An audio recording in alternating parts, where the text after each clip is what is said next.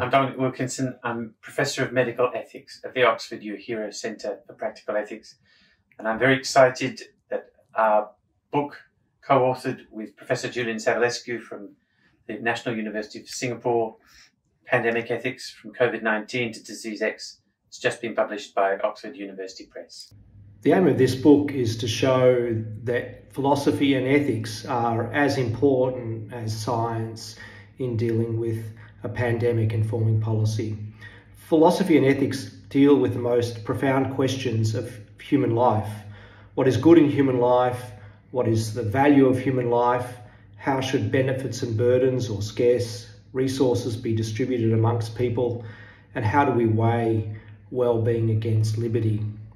These are ethical and philosophical questions, not scientific questions, but questions that have to be answered if we're to form policy in a pandemic.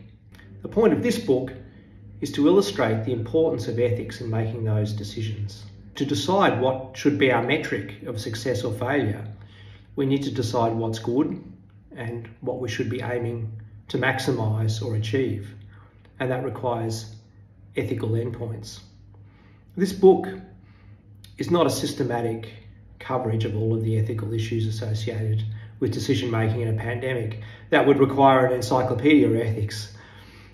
It's meant to illustrate uh, the importance of ethics to this kind of decision making. For the next pandemic, we'll need not only good science, um, but better ethics. In the COVID pandemic, my life, the life of millions, billions around the world changed radically.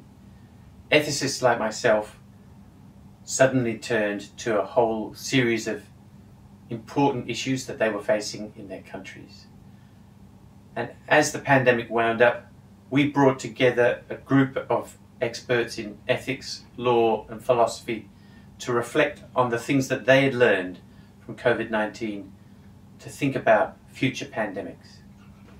For example, in the book, the great moral philosopher Frances Kamm from Harvard critically examines some of the libertarian arguments that were raging in the pandemic in relation to mandates for vaccines or lockdowns.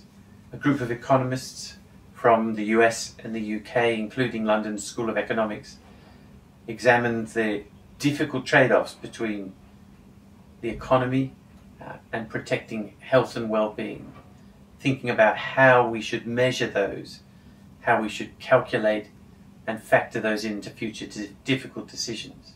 I'm here with Professor Mike Parker, uh, who's one of the authors from the Pandemic Ethics book. Mike, pandemics often arise not in countries like the UK, um, but in low and middle income countries. Why does that matter ethically? It matters in a whole range of ways.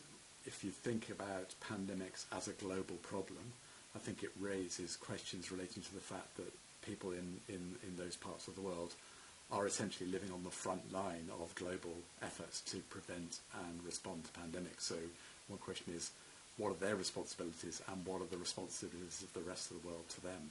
Yeah, I'm, I'm really excited about this book coming out, partly because I think these, the problems identified here are really important ones. So I see it as an agenda-setting book, for one thing and I hope that this will generate a whole new area of research. But secondly, because it's bringing together some really key people who've been involved at a very high level in global efforts and national efforts to, to respond to the COVID-19 pandemic. So in so, some senses, it's a document which captures thought, you know, it's been generated by very recent experience of people. So I'm yeah, excited to read it.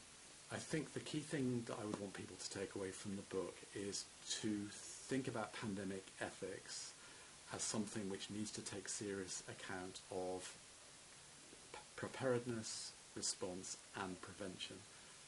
Virtually no one is writing on the ethics of pandemic prevention at the moment, and uh, attention needs to be paid to that.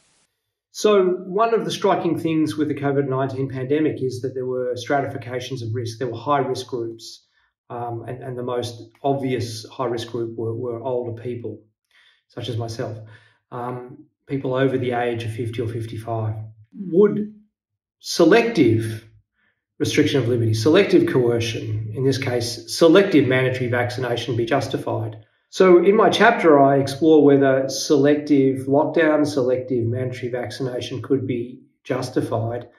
And indeed, some countries did employ this. Um, for example, Greece and Italy um, imposed fines for people over a certain age, 55 or 65, um, in order to um, promote their uptake of vaccination in those groups. That's a form of selective mandatory vaccination. The, the, the other sort of um, slogans of the pandemic were we we are all in this together and, and no one's safe until everyone is safe. Um, now, in one sense, those slogans are, are incorrect um, because younger people were not at a significantly elevated risk um, of dying from from COVID. Um, and the, the question that should be asked ethically is uh, because the benefits and burdens fall on different people differently from um, restriction of liberty, um, should um, liberties be selectively restricted and focused on those with, with the most to gain. We've only just recovered from COVID 19, but some estimates suggest that there's a more than one in four chance in the next decade of another pandemic just as bad. And actually, many scientists for years have been worried about pandemics that we face that may be much worse than COVID 19. We all want to forget this pandemic, but actually, we need to remember and learn from it because there may be worse ahead.